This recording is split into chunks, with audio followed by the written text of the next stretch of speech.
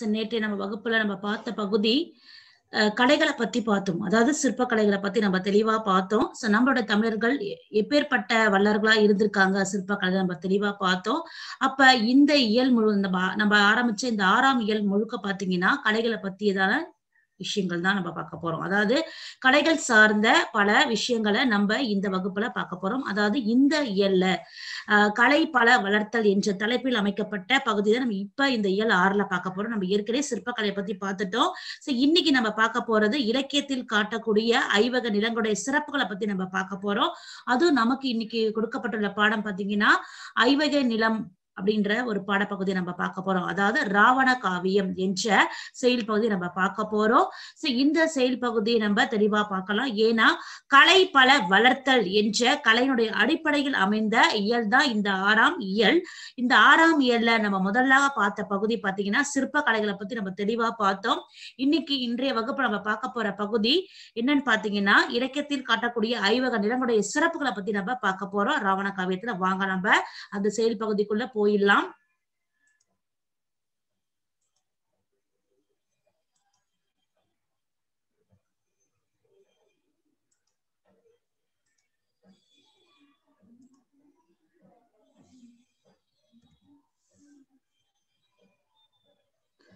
நம்ம பார்க்க போற பகுதி இன்னைக்கு ராவண காவியம். ராவண காவியம் என்ற இந்த செயல் பகுதியை அதாவது கவிதை பேழையில் அமைக்கப்பட்டுள்ள இந்த செயல் பகுதியை இயற்றியவர் யாருன்னு பாத்தீங்கன்னா புலவர் குழந்தை அவர்கள்.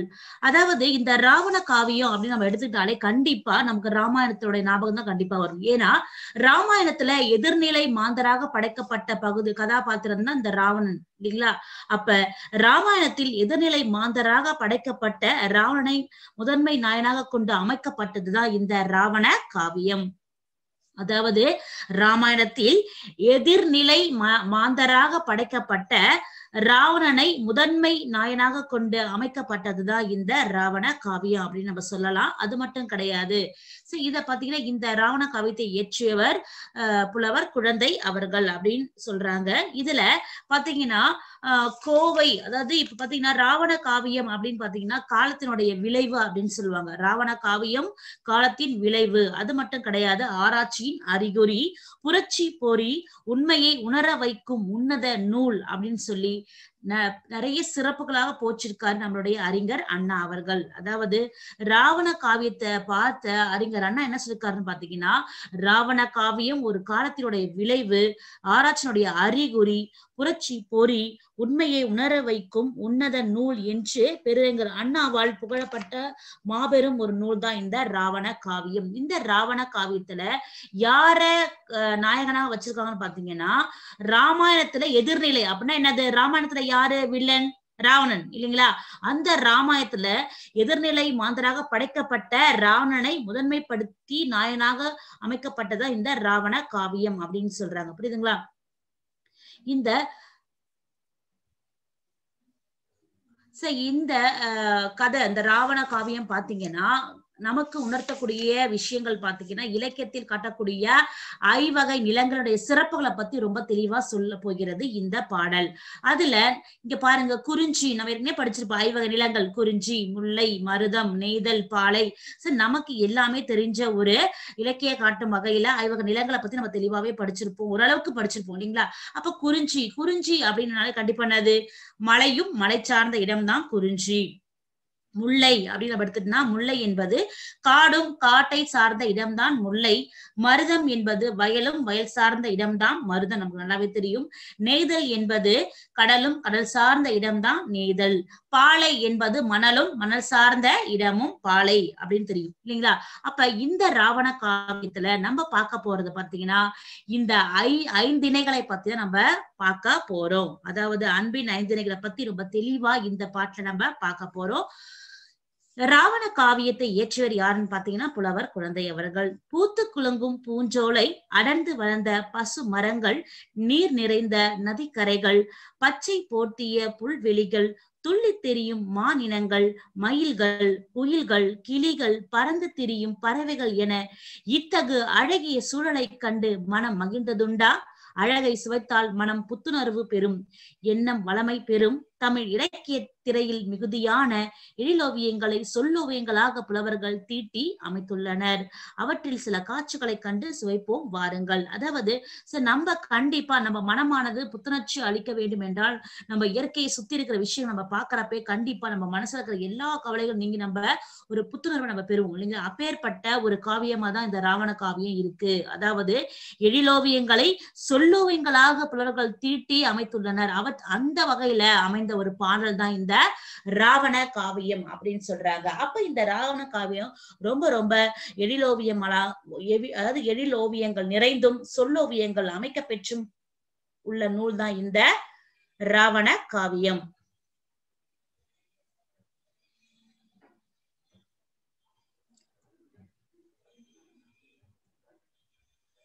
சரி இந்த ராவண காவியத்துடைய ஆசிரியர் யாருன்னு பாத்தீங்கன்னா புலவர் குழந்தை அப்படின்னு நம்ம சொன்னோம் இல்லைங்களா?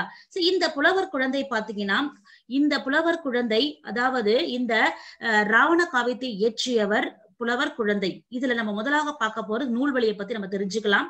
இருபதாம் நூற்றாண்டில் தோன்றிய தனித்தமிழ் பெருங்காப்பியம் தான் ராவண காவியம். அதாவது இருபதாம் நூற்றாண்டில் தோன்றிய அஹ், தனி தமிழ் பெருங்காப்பியம் ராவண காவியம் அப்படின்னு சொல்றாங்க. இந்த ராவண காவியம் பாத்தீங்கன்னா தமிழக காண்டம் இலங்கை காண்டம் விந்த காண்டம் பழிபுரி காண்டம் போர் காண்டம் என ஐந்து காண்டங்களை உடையது. இந்த ராவண காவியம் எத்தனை வகை காண்டங்களை உடையது? ஐந்து வகையான காண்டங்களை பெற்றுள்ளது. என்னென்ன பாத்தீங்கன்னா தமிழக காண்டம் இலங்கை காண்டம் விந்த காண்டம் பழிபுரி காண்டம் போர் காண்டம் என ஐந்து காண்டங்களை பெற்றுள்ளதுதான் இந்த ராவண காவியம். அது மட்டும் இல்லாம மூவாயிரத்தி நூற்று பாடல்களை பெற்றுள்ளது இந்த ராவண காவியம். இந்த நூல் புலவர் குழந்தை அவர்களால் இயற்றப்பட்டது. தமிழக காண்டத்தில் உள்ள பாடல்கள் இங்கு இடம்பெற்றுள்ளன. அதாவது நமக்கு கொடுக்கப்பட்டுள்ள பாடப்பகுதியான ராவண காவியம் எந்த காண்டத்திலிருந்து கொடுக்கப்பட்டதுன்னு பாத்தீங்கன்னா தமிழக காண்டத்திலிருந்து கொடுக்கப்பட்டதுதான் அப்படின்னு சொல்றாங்க. தந்தை பெரியாரின் வேண்டுகோளுக்கு இணங்க இருபத்தைந்து நாள்களில் இவர் திருக்குறளுக்கு உரை எழுதியிருக்கார். அதாவது இந்த புலவர் குழந்தையோட குழ- குழந்தை இருக்கார் இல்லையா? தந்தை பெரியாருடைய சொல்லுக்கு அஹ், கட்டுப்பட்டவரா இருந்திருக்கார். அதனால தந்தை பெரியாருடைய வேண்டுகோளுக்கு இணங்க இருபத்தைந்து நாட்கள்ல இவர் என்ன பண்ணாராம்? திருக்குறளுக்கு உரை எழுதியிருக்கிறாரு. நம்மளுடைய புலவர் குழந்தை அவர்கள். அப்ப எப்பேற்பட்ட ஒரு திறமசாலின்னு பாருங்க இருபத்தைந்து நாள்லே நாள்லே இவர் என்ன பண்ணிருக்காரு திருக்குறளுக்கு உரை எழுதியிருக்காரு. அது மட்டும் கிடையாது. இவர் எழுதிய யாப்பதிகாரம் தொடை அதிகாரம் உள்ளிட்ட முப்பதுக்கும் மேற்பட்ட இலக்கண இலக்கிய நூல்களை படைத்திருக்கிறாரு. இவன் நிறைய நூல்கள்லாம் எழுதியிருக்காரு அப்படின்னு சொல்லலாம். இந்த புலவர் குழந்தையை பத்தி நம்ம மேலும் தெரிஞ்சுக்கணும் பாத்தீங்கன்னா இந்த ராவண காவியத்தை இயற்றியவர் தான் புலவர் குழந்தை ஆவார். இவர் வந்து ஜூலை ஒன்றாம் ஆண்டு என்ன பண்ணாரு? ஓல வலசு என்னும் சிற்றூரில் பிறந்திருக்கிறாரு. ஓல வரசு என்னும் சிற்றூரில் பிறந்திருக்காரு. இவருடைய பெற்றோர் யாருன்னு பாத்தீங்கன்னா முத்துச்சாமி கவுண்டர் சின்னம்மை. இவருடைய பெற்றோர் முத்துச்சாமி சின்னம்மை. அதாவது ராவண காவியத்தை இயற்றியவர் தான் புலவர் குழந்தை. இவர் ஜூலை ஒன்றாம் ஆண்டு ஓல வலசு என்னும் சிற்றூரில் பிறந்திருக்கிறாரு. இவருடைய பெற்றோர் யாருன்னு பாத்தீங்கன்னா முத்துசாமி கவுண்டர் சின்னம்மை. முத்துசாமி கவுண்டர் சின்னம்மை. இவருடைய பெற்றோர் முத்துசாமி சின்னம்மை. இவர் பாத்தீங்கன்னா தந்தை பெரியார் மீது மிகுந்த அஹ், மரியாதையும் பற்றும் கொண்டவர். அதனாலதான் அவருடைய வேண்டுகோளுக்கு இணங்க என்ன பண்ணாரு? இருபத்தைந்து நாட்கள்ல திருக்குறளுக்கு உரை எழுதியிருக்கிறாரு. நம்மளுடைய அஹ், புலவர் குழந்தை அப்படின்னு சொல்றாங்க. அப்பேற்பட்ட திறமைசாலி தான் நம்மளுடைய புலவர் குழந்தை. வாங்க நம்ம இந்த புலவர் குழந்தை எழுதிய ராவண காலத்துடைய முதல் பாடலை நம்ம பார்த்துடலாம். சோ இன்னைக்கு நமக்கு கொடுக்கப்பட்டுள்ள ராவண காவியத்துடைய முதல் பாடல் குறிஞ்சி. குறிஞ்சி நமக்கு தெரியும் மலை மலை சார்ந்த இடம்தான் குறிஞ்சி. மலையும் மலை சார்ந்த இடம்தான் குறிஞ்சி. கண்டிப்பா மலை அப்படின்னு எடுத்துட்டாலே கண்டிப்பா அங்க வாழக்கூடிய மக்கள் யாருன்னு பாத்தீங்கன்னா ஆஹ் குறவனும் குரத்தியும் தான் வாழ்வாங்க. ஏன்னா மலைப்பகுதியில குறவனும் குரத்தி தான் வாழ்வாங்க.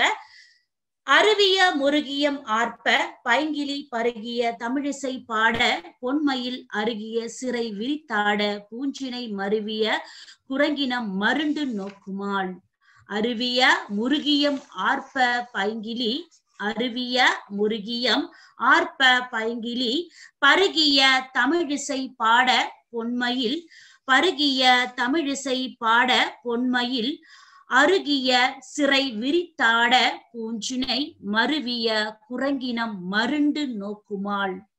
அருவிய முருகியம் ஆர்ப்ப பைங்கிலி பருகிய தமிழிசை பாட பொன்மயில் அருகிய சிறை விரித்தாட பூஞ்சினை மருவிய குரங்கினம் மருண்டு நோக்குமாள். அதாவது இங்க முருகியம் முருகியம்னா குறிஞ்சி ப- குறிஞ்சி பறை. கண்டிப்பா மலையும் மலை சார்ந்த பகுதியில வாழக்கூடியவங்க யாருன்னு பாத்தீங்கன்னா குறவனும் குரத்தி தான் அங்க இசைக்கக்கூடிய பறை எது பாத்தீங்கன்னா குறிஞ்சி பறை. அப்ப முருகியம்னா குறிஞ்சி பறைன்னு அர்த்தம். முருகியம்னா குறிஞ்சி பறை அப்படின்னு அர்த்தம். இங்க சிறை சிறைனா இறகு. சிறை பொன்மையில் அருகிய சிறை விரித்தாட. அப்ப சிறைனா இங்க இறக சொல்றாங்க. சிறைனா இறகு. சிறை விரித்தாட பூஞ்சினை பூஞ்சினைனா பூக்களை உடைய கிளை அப்படின்னு அர்த்தம். பூக்களை உடைய கிளை அப்படின்னு அர்த்தம். புரியுதுங்களா? குரங்கினம் மருண்டு நோக்குமால் மருண்ட வியந்து. அப்படியே வியப்பா பாக்குதான் எதை பாக்குதுன்னு பாப்போம். அதாவது அருவிய முருகியம் ஆர்ப்ப பைங்கிலி பருகிய தமிழிசை பாட அதாவது அருவிகள் பறையாய் ஒழிக்கும் அந்த குறிஞ்சி மலையிலிருந்து விழுகின்ற அந்த அருவி நீர்கள் குறிஞ்சி பறையை போல ஒழிக்கிறதாம் அது மட்டும் கிடையாது பைங்கிலி பருகிய தமிழிசை பாட அதாவது பைங்கிளிகள் தானா தான் அறிந்த ஒரு தமிழிசைய ரொம்ப அழகா பாடுதுங்களாம் அந்த கிளிகள். பைங்கிலினா கிளிகள் கிளிகள் தான் அறிந்த தமிழிசையை அழகாக பாடுகிறதாம். பொன் போன்ற மயில்கள் அருகிய சிறை விரித்தாட அதாவது பொன் போன்ற அழகிய மயில்கள் தன் அருமையான சிறகினை விரித்து ஆடுகின்றன. அஹ் சொல்லுவாங்களா சிறகின இந்த தொகையை விரித்து ரொம்ப அழகா ஆடுகின்றன. அதான் சொல்றாங்க. பொன் பொன் போன்ற அழகிய மயில்கள் தன் அருமையான சிறகினை விரித்து ஆடுகின்றன. பூஞ்சினை மருவிய இந்த காட்சியினை என்ன பண்ணுதான்? பூக்கள் நிறைந்த மரக்கிளையில் அமர்ந்திருக்கும் குரங்கினம் மிரட்சியுடன் பார்க்கும். மருண்டுனா மிரட்சி மிரட்சினா ரொம்ப வியப்பா ஆச்சரியமா பாக்குது ஐயோ இவ்வளவு அழகா இருக்கே அப்படின்ட்டு ஆஹ் பாக்குதுங்க யாருன்னா குரங்கினங்கள்லாம் பாக்குது அருவிய முருகியம் ஆர்ப்ப பைங்கிலி பருகிய தமிழிசை பாட பொன்மையில் அருகிய சிறை விரித்தாட பூஞ்சினை மருவிய குரங்கினம் மருண்டு நோக்குமாள். அதாவது அருவிகள் அந்த குறிஞ்சி பறை பறை பறை அடிப்போம் அந்த பறை. ஒரு இது இசை இல்லைங்களா? அந்த இசை எப்படி முழக்கம்? குறிஞ்சி பறைய இசைத்தால் எவ்வளவு அழகா இருக்குமா அந்த போல அருவிகள் அந்த மலை சார்ந்த இடத்தில் அந்த குறிஞ்சி நிலத்தில் அருவிகள் பறையாய் ஒலிக்கின்றன. அங்கிருக்கின்ற அந்த பயங்கிளிகள் தானறிந்த தமிழிசையை ஒன்று அழகாக பாடுகின்றன. அது மட்டும் கிடையாது பொன் போன்ற அழகிய மயில்கள் தன் அருமையான சிறைகளை விரித்து ஆடுகின்றன. இந்த காட்சிகளை பூக்கள் நிறைந்த மரக்கிளையில் அமர்ந்து கொண்டு குரங்கினம் ம- மகிழ்ச்சியுடன் பார்த்து கொண்டிருக்கின்றன. அப்பேற்பட்ட வளமை வாய்ந்த பகுதிதான் குறிஞ்சி அப்படின்னு சொல்றாங்க. புரியுதுங்களா? அருவிய முருகியம் அருவிய முருகியம் ஆர்ப்ப பைங்கிலி பருகிய தமிழிசை பாட பொன்மையில் அருகிய சிறை விரித்தாட பூஞ்சினை மருவிய குறுங்கினம் மருண்டு நோக்குமாள். அதாவது அருவிகள் பறையாய் ஒலிக்கின்றன அது மட்டும் கிடையாது அந்த பைங்கிளிகள் தான் அறிந்த தமிழிசையை அழகாக பாடுகின்றன. பொன் போன்ற அழகிய மயில்கள் தன் அருமையான சிறகினை விரித்து ஆடுகின்றன. இந்த காட்சியினை பூக்கள் நிறைந்த மரக்கிளையில் அமர்ந்து கொண்டு குரங்கினங்கள் மிரட்சியுடன் பார்த்து ரசிக்கின்றன. அப்பேற்பட்ட வளமையான ஒரு பகுதி தான் நம்மளுடைய குறிஞ்சி. அதாவது குறிஞ்சி மலையும் மலை சார்ந்த பகுதி. அருவிய முருகியம் ஆர்ப்ப பைங்கிலி பருகிய தமிழிசை பாட பொன்மையில் அருகிய சிறை விரித்தாட பூஞ்சினை மருவிய குரங்கினம் மருண்டு நோக்குமாள். அடுத்தது இரண்டாவது பாடல். அதே குறிஞ்சி மலையும் மலை சார்ந்த பகுதியில இரண்டாவது பாடல். அடுப்பிடு சாந்தமோடு அகிலின் நாச்சமும் துடுப்பிடு மைவன சோற்றின் நாற்றமும் மடுப்படு காந்தலின் மனமும் தோய்த்தலால் கடைப்படு பொருளெல்லாம் கமழும் குன்றமே. குன்றுனா மலை குன்று நமக்கு நல்லாவே தெரியும். குன்றுனா மலை குன்று அடுப்பிடு சாந்தமோடு அகிலின் நாற்றமும் துடுப்பிடு மைவன சோற்றின் நாற்றமும் மடுப்படு காந்தலின் மனமும் தோய்த்தலார் கடைப்படு பொருளெல்லாம் கமழும் குன்றமே. அதாவது குன்றம்னா இங்க குன்று அப்படின்னா மலை குன்று சொல்றாங்க. மைவன சோற்றின் மைவனம்னா மலை நெல் மைவனம் அப்படின்னா மலை நெல் அப்படின்னு சொல்றாங்க. அடுத்தது பாத்தீங்கன்னா ஆஹ் சாந்தமோடு அகலின் நாச்சமும் அஹ் துடுப்பிடு மைவனம். அப்- மைவனம்னா மலை நெல் அப்படின்னு அர்த்தம். சாந்தம் அப்படின்னா சந்தனம் அப்படின்னு அர்த்தம். சாந்தம் என்பதன் பொருள் சந்தனம். அதாவது அடுப்பிடு சாந்தமோடு அகிலின் நாச்சமும் துடுப்பிடு மைவனம் சோற்றின் நாச்சமும் மடுப்படு காந்தலின் மனமும் தொய்த்தலார் கடைப்படு பொருளெல்லாம் கமழும் குன்றமே. அதாவது அந்த தீயில இட்ட சந்தன மரக்குச்சிகள் இப்ப நம்ம அடுப்பெரிக்க வந்து மரக்குச்சிகள்லாம் பயன்படுத்தணும் அந்த மாதிரி குறிஞ்சி நிலத்துல வாழக்கூடிய மக்கள் என்ன பண்றாங்கன்னா தீயில இட்ட சந்தன மரக்குச்சிகள்ல இருந்து எவ்வளவு வாசனை அந்த சந்தன குச்சி எடுத்தா எவ்வளவு வாசனை மணக்கும். சந்தன கட்டை ரொம்ப மண மணக்கும் இல்லைங்களா? அந்த மாதிரி தீயில் இட்ட சந்தன மர குச்சிகள் அந்த அகில் இவச்சி நறுமணமும் அதாவது அதுல இருந்து வருகின்ற மனமும் அகிலின் நாச்சமும் அதாவது அகில் இவற்றினுடைய நறுமணமும் உலகில் இட்ட துடிப்பிடு அப்படின்னா உலகில் இட்ட மைவனம்னா நெல் மலை நெல் அர்த்தம் இல்லைங்களா? அப்ப அஹ், உலகில் இட்ட மலை நெல்லரிசி சோற்றினுடைய மனமும் அது மட்டும் இல்லாம மடுப்படு காந்தலின் மனமும் அதாவது காந்தல் மலரின் ஆழ்ந்த மனமும் பரவி தோய்ந்து கிடந்ததனால் எல்லா இடங்களிலும் உள்ள பொருட்கள் மனம் கமழ்ந்து காணப்படுகின்றன. அந்த மலை முழுக்க பாத்தீங்கன்னா அந்த குறிஞ்சியில மலையும் மலை சார்ந்த பகுதி தான் குறிஞ்சி நம்ம நல்லாவே தெரியும். அந்த மலை பிரதேசம் முழுக்க பாத்தீங்கன்னா ரொம்ப ரொம்ப நறுமணம் வீசக்கூடியதாகவே இருக்கிறது. ஏனென்றால் தீயிலிட்ட அந்த சந்தன மரக்குச்சியின் காரணமாகவும் அகிலுடைய நறுமணமும் உலையில் இட்ட அந்த மலை நெல்லரிசியுடைய சோற்றின் மனமும் காந்தல் மலரில் ஆழ்ந்த மனமும் பரவி தோய்ந்து கிடந்ததனால் எல்லா இடங்களிலும் உள்ள பொருட்கள் மனம் கமழ்ந்து காணப்பட்டன. அப்பேற்பட்ட மனம் வீசக்கூடிய ஒரு பகுதிதான் எங்களுடைய குறிஞ்சி நிலம் அப்படின்னு சொல்றாங்க. அங்க வாழ்கின்ற குறவனும் குரத்தியும் சார் ராவண காவியத்துல புலவர்கள் வந்து ரொம்ப அருமையா இந்த பாடலை கொடுத்திருக்காரு. அடுப்பிடு சாந்தமோடு அகிலின் நாச்சமும் துடுப்பிடு மைவனம் சோற்றின் நாச்சமும் மடுப்படு காதலின் மனமும் தோய்த்தலார் கடைப்படு பொருளெல்லாம் கமழும் குன்றுமே. அந்த குன்றுனா மலை. அந்த குறிஞ்சி மலை மலை சார்ந்த இடம் முழுக்க நீங்க எங்க திரும்பி நோக்கி பார்த்தாலும் சரி அவ்வளோ மனம் வீசக்கூடியதா இருக்கு. ஏனென்றால் அந்த தீயிலிட்ட சந்தன மர குச்சியின் காரணமாகவும் அகிலேந்து வரக்கூடிய நறுமணத்தின் காரணமாகவும் உலகில் இட்ட அந்த மலை நெல்லரிசில் சோற்றினுடைய மனமும் காந்தல் மலரின் ஆழ்ந்த மனம் இது எல்லாமே அந்த மலை அந்த குஞ்சு முழுக்க பரவி கிடப்பதனால எல்லா இடங்களில் உள்ள பொருட்கள் எல்லாம் மனம் வீசக்கூடியதாகவே இருக்கின்றன.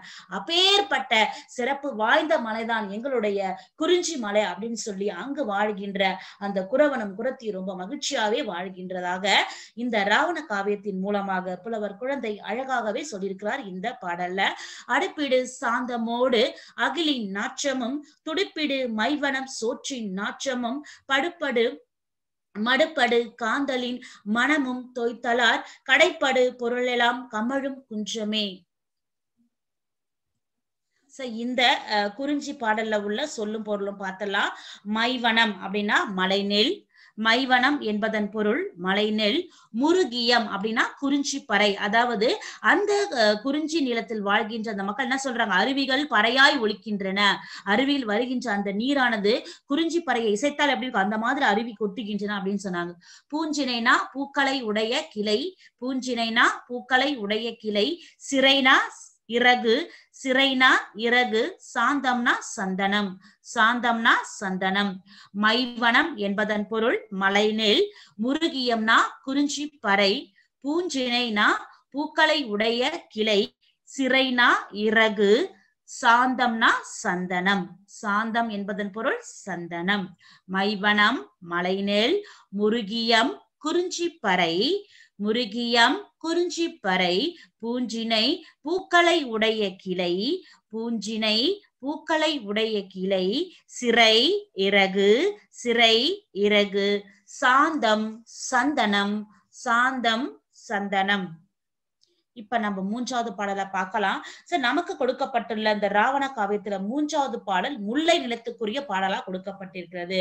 சார் ஏற்கனவே சொல்றேன் சிலர் முல்லை நிலம்னா மலையும் சாரிமா குறிஞ்சினா மலையும் மலை சார்ந்த இடம். முல்லைனா காடும் காடும் சார்ந்த இடம்தான் முல்லையை குறிக்கும். அப்ப காட்டு காட்டு பகுதியில் வாழ்கின்றவர்கள் யாருன்னு பாத்தீங்கன்னா அதாவது மலை பிரதேசத்துல அஹ் வாழக்கூடியவர்கள் குறவன் குரத்தி நம்ம பார்த்தோம். அதே மாதிரி இந்த காட்டு பகுதியில வாழக்கூடிய மக்கள் அதாவது காட்டு பகுதியில் வாழ்கின்ற இந்த மக்கள் எப்படிலாம் அதாவது முல்லை நிலத்தில் காடும் காடும் சார்ந்த பகுதியில் வாழக்கூடியவர்கள் பாத்தீங்கன்னா ஆயர் ஆய்ச்சியர். அவங்க என்ன பண்றாங்க அப்படின்னு பாத்தீங்கன்னா கண்டிப்பா முல்லை நிலத்துல அவங்க தொழில் என்னவா இருக்கும்? கண்டிப்பா ஆணிரைகள் மேய்த்தல் ஆணிரைகள் ஆடு மாடுகள் மேய்க்கக்கூடியதான் இருப்பாங்க. ஏன்னா காட்டு பகுதி இல்லைங்களா? அதான் சொல்றாங்க. முல்லை காடும் காடும் சார்ந்த பகுதியில் அப்படின்னு சொல்றாங்க. பூவையும் குயில்களும் புலங்கை வண்டரும் பாயிசை பாடமும் பழமும் தேனும் தந்து தேனிசை பெறும் கடறு இடையர் முக்குழல் ஆவினம் ஒருங்குற அருகு அணைக்குமாள்.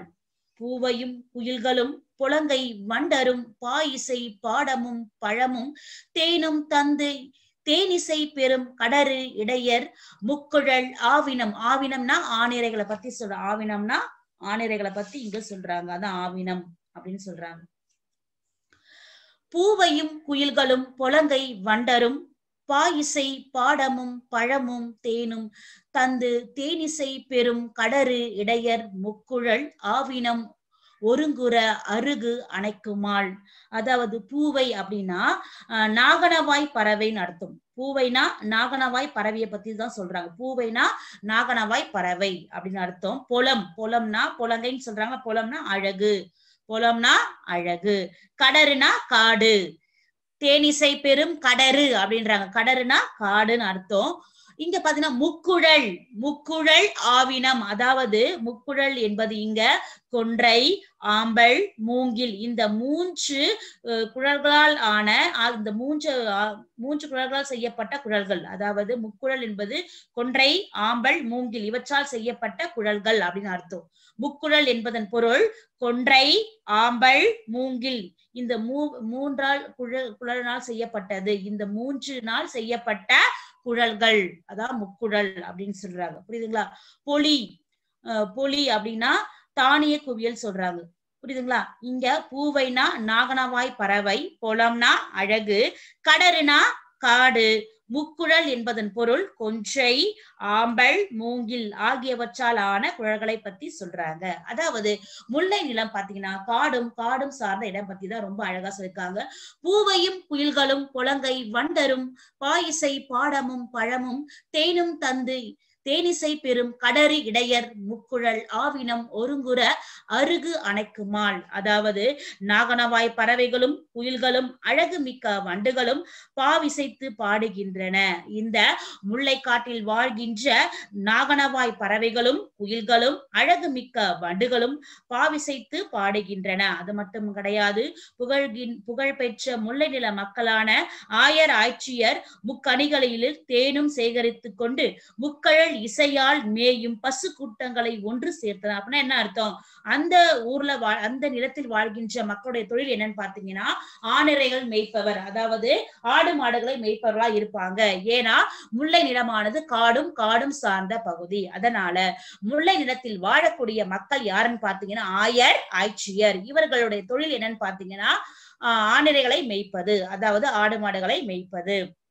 அதாவது அந்த முல்லை காட்டுல எப்படி இருக்குன்னு சொல்றாரு பாத்தீங்கன்னா புலவர் குழந்தை நாகனவாய் பறவைகளும் குயில்களும் அழகு மிக்க வண்டுகளும் பாவிசைத்து பாடுகின்றன. அது மட்டும் இல்லாமல் புகழ்பெற்ற முல்லைநிலத்தில் வாழ்கின்ற மக்களாகிய ஆயிரம் ஆட்சியர் முக்கணிகளில் இருந்து தேனை சேகரித்துக் கொண்டு முக்குழல் இசையால் மேயும் முக்குழல் இசையான எது? கொன்றை ஆம்பல் மூங்கில். இந்த மூன்றால் செய்யப்பட்ட குழல்களால் இசைக்கின்ற அந்த இசையை கேட்டுக்கொண்டு அந்த காட்டு பகுதியில் மேய்கின்ற அந்த ஆடுகளை மேய் மேய்க்கக்கூடிய கூட்டமாக இருக்கிறார்கள் ஆய்ச்சரும் ஆஹ் ஆஹ் ஆட்சியரும் ஆயரும். இல்லைங்களா? அப்பேற்பட்ட அந்த முல்லை நிலத்தில் வாழ்கின்ற மக்கள் இப்படிதான் இருக்காங்க அப்படின்னு சொல்லி ரொம்ப அழகாவே சொல்கிறார் அஹ் ராவண காவியத்துல புலவர் குழந்தை. அதாவது நாகனவாய் பறவைகளும் குயில்களும் அழகுமிக்க வண்டுகளும் பாவிசைத்து பாடுகின்றன. அது மட்டும் இல்லாமல் புகழ்பெற்ற முல்லை நில மக்களாகிய ஆயர்களும் ஆய்ச்சியர்களும் முக்கணிகளை எடு முக்கணியில் உள்ள தேனை எடுத்தும் அவங்க தேன் சேகரிக்கிறாங்க. ஏன்னா மலை பிரதேசம் இல்லைங்களா? தேனை சேகரித்து கொண்டும் முக்குழல்னா என்னது? கொன்றை ஆம்பல் மூங்கில் இந்த மூன்றால் செய்யப்பட்ட குழல்களால் இசையை கேட்டு மயங்கி அந்த பசு பசுகள் மாடுகள் ஆடுகள் மேய்கின்ற அந்த கூட்டத்தை மேய்க்கக்கூடியவர்களா இருக்கிறார்கள். அந்த ஆயரும் ஆட்சியர் அப்பேற்பட்ட வளமை வாய்ந்த பகுதி தான் முல்லை நில பகுதி அப்படின்னு சொல்றாங்க.